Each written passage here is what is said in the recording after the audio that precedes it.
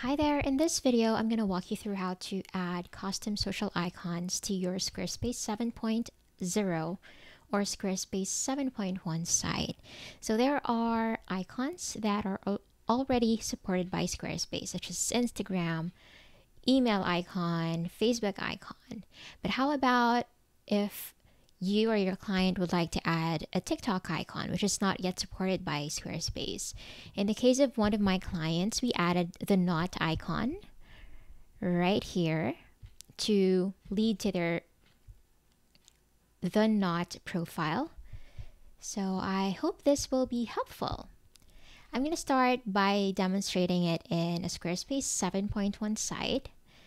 I'm just going to start by adding a social links block first.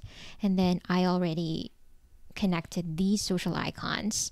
And then these are my settings for the social links. It's centered, small, and regular.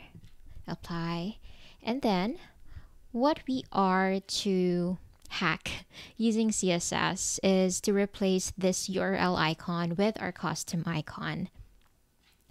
Um, and this is the reason why if you have multiple icons, um, I'm afraid we can only support up to one because we are to replace this URL icon with a custom one. So the first step is for us to upload our icon. In my case, I did um, search for the TikTok icon. So you can save it in other colors or you might want to edit it via Illustrator, but in my case, that worked. So I uploaded it under Manage Custom Files, that's under Design Custom CSS. And then right on my blog post, these are the codes for Squarespace 7.1. So I'm just going to copy this one and paste it right here. I'm going to remove this URL, um, but this is actually for TikTok as well, but for demonstration purposes, I'm going to delete this just in case you have a custom icon yourself. So by default, we're hiding our URL icon and we're replacing it with another one. So we have to pull the path to our custom icon. So while my cursor is between these parentheses, I'm going to go to Manage Custom CSS or Manage Custom Files and click this TikTok round.png and then my best practice is to delete HTTPS colon just so it'll be easier or it'll be faster for our icon to um, load. So that's how I upload this uh, social icon. And then our next step is to activate our social header icon. I mean social header icons. So in Squarespace 7.1, we have to make sure it's activated under elements.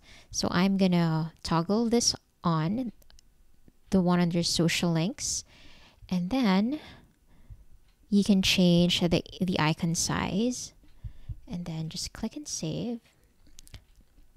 After saving, these should appear and you'll notice that our URL icon hasn't been changed just yet.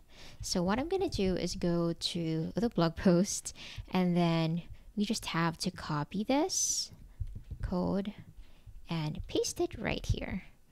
It was automatically changed to the link that I provided, but in your case, if you have a custom one, just make sure your cursor is between the parentheses and then click on manage custom files and click your custom icon. And then I'm just going to delete this HTTPS colon and then save.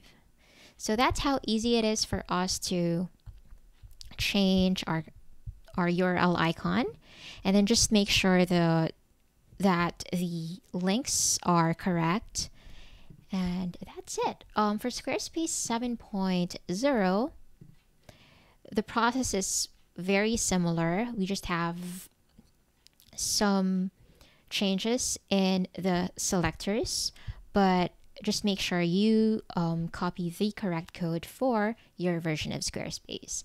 If you have any questions about this tutorial, please feel free to leave a comment below.